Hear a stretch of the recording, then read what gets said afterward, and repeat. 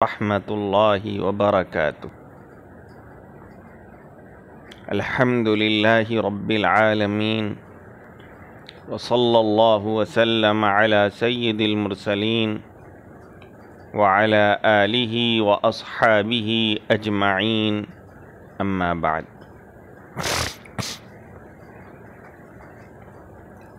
ये जो कसीदा आपके सामने नज़र आ रहा है रजात नफ़सी फ़तहम तो हसाती व तो कौमी फ़ाहतसब तो हयाती ये हाफिज़ इब्राहीम मिस्री रहमतुल्लाहि अलैहि का मशहूर कसीदा है अरबी ज़बान के दिफा में और उस पर गैरत के सिलसिले में ये एक शाहकार कसीदा है। हाफिज़ इब्राहिम मिस्री शायर नील के नाम से जाने जाते हैं। अठारह सौ बहत्तर में आप पैदा हुए, साठ साल की उम्र में इंतकाल फरमाया। इस कसीदे में अरबी ज़बान शिकायत कर रही है गैरों की भी और अपनों की भी समात फरमाइए। रजातुल नफसी फ़तहम तो हसाती रजातुल नफसी फ़तहम तो हसाती वनादई तो कौमी फ़ाहतसब तो हयाती।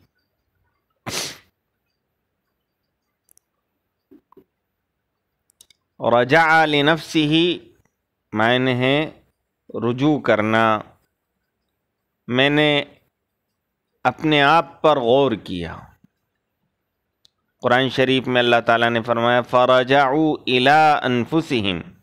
उन्होंने अपने आप पर गौर किया।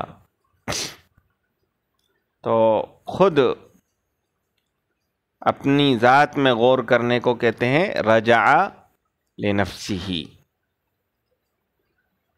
रजात नफसी फ़तहम तो हसाती। इतहामा के मायने तहमत लगाना, शुभा करना, मशकूक नज़र से देखना। हसातुन अक़ल। मैंने खुद अपनी ज़ात पर गौर किया तो मैंने अपनी अक़ल पर तहमत लगाई। मतलब क्या है कि लोग मुझे नाकिस कहते हैं। लोग मुझे इस ज़माने का साथ देने पर कादिर नहीं समझते हैं और तरह तरह के अयूब से मुत्तहम करते हैं। तो मैंने देखा, क्या वाकई मेरे अंदर कोई ऐब है? मैंने खुद अपना जायज़ा लिया। तो मुझे तो कोई ऐब नज़र नहीं आया।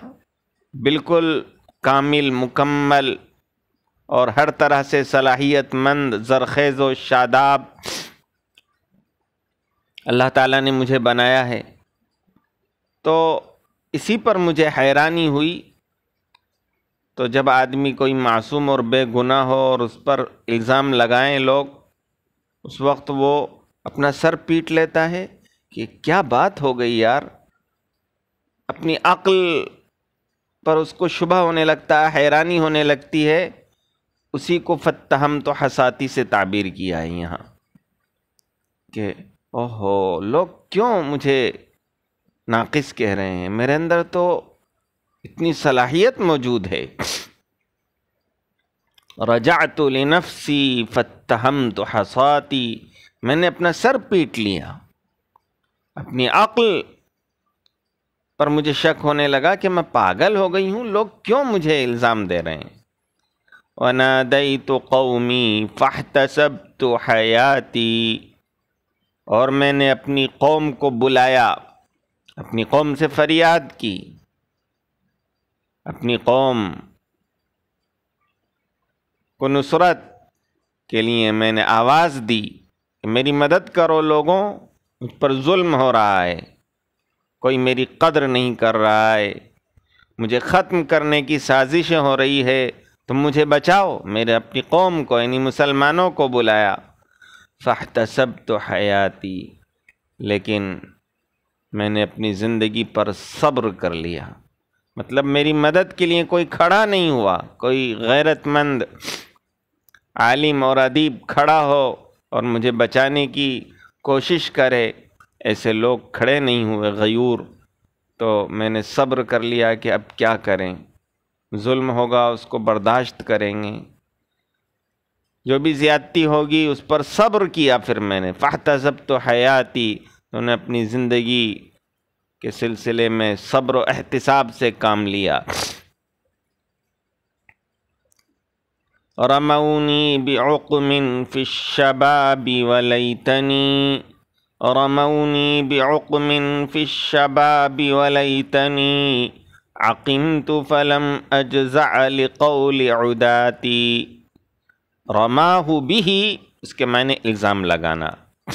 जैसे इन फ़ुलानन रमानी बिलकदिब फ़ुला ने मुझ पर झूठ का इल्ज़ाम लगाया। जैसे इन अहल गरब यरमून इस्लाम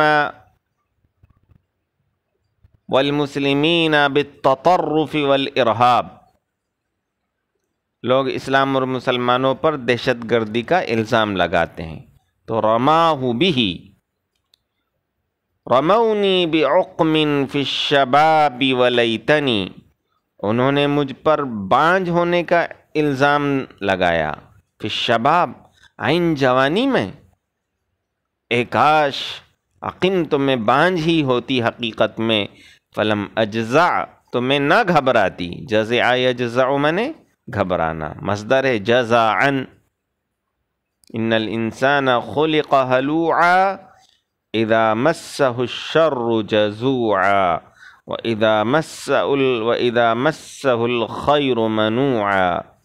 इंसान जल्दबाज वाक़ हुआ है। जब कोई बुराई उसको लाक होती है तो घबरा जाता है और जब खैर आती है तो वो बुखल करने और खैर को रोकने की कोशिश करता है कि किसी को ना दे। तो मैं अगर बांझ होती तो ना घबराती। अपने ालिमों की बात पर, आदि की जमा, उदात, जिसे कौदी की जमा ग़ुज़ात, गाजी की जमा गुज़ात। और आदा यादू के मायने जुल्म ज़्यादती करना। मेरे ालिमों मेरे दुश्मनों की बात और उनके इल्ज़ाम पर मैं परेशान ना होती कि मैं बांझ हूँ तो लोग बांझ कह रहे हैं। लेकिन जब बेगुनाह पर इल्ज़ाम लगाया जाए और कामिल को नाकिस ठहराया जाए, उस वक्त ज़्यादा अफसोस होता है। रमौनी बेअक़मिन फ़िशबाबी वलैतनी। रमौनी बेअक़मिन फ़िशबाबी वलैतनी। उन्होंने मुझे इल्ज़ाम दिया बांझ होने का। आइन जवानी में एकाश के मैं बांझ होती तो ना घबराती अपने दुश्मनों की बात पर। वलत्तु वलम्मा लम अजिद लिआराइसी वलत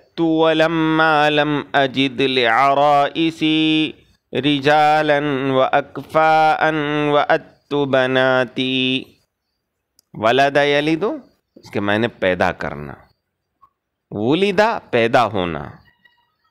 तो ये जो कहा जाता है कि वलिदा मजहूल इस्तेमाल होता है और पैदा होने के मायने में, मारूफ मायने में होता है, वो पैदा होने के मायने में हो तब है वलिदा। लेकिन अगर पैदा करने के मायने में होगा तो वलदा पढ़ेंगे। वलत्तु, मैंने जन्म दिया।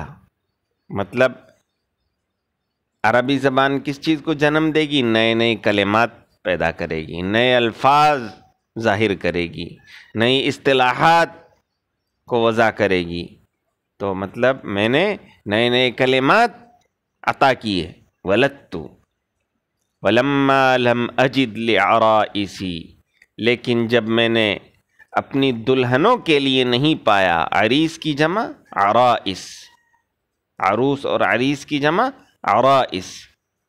दुल्हन को कहते हैं तो मैंने अपनी दुल्हनों के लिए नहीं पाया रिजा अलन अहल और काबिल मर्द नहीं पाए, जो इन खूबसूरत दुल्हनों के काबिल हो व अकफ़ान और कुफू, जोड़ के लोग नहीं मिले तो वह अत बनाती, मैंने अपनी बेटियों को दफन कर दिया। यानी मेरे कलेमात पैदा किए और मेरे कलेमात जो मेरी बेटियाँ हैं, वो जब जवान हुए और दुल्हन बनने के काबिल हुए तो कोई जोड़ का नहीं मिला। मतलब ऐसे उदबा, ऐसे राइटर नहीं हुए कि जो इन कलिमात को सही इस्तेमाल करते, अपनाते और उनको अपनी ताबीरात में इस्तेमाल करते, वही शोहर होते उनके, वही जोड़ के मर्द होते। तो फिर मैंने अपनी बेटियों को दफन कर दिया मतलब वो कलिमात ख़त्म हो गए फिर दुनिया से, क्योंकि लोगों ने ही इस्तेमाल छोड़ दिया। बहुत सारे अरबी ज़बान के कलिमात मतरूक हो गए, हालाँकि खूबसूरत अल्फाज हैं, क्योंकि इस्तेमाल नहीं कर रहे हैं लोग।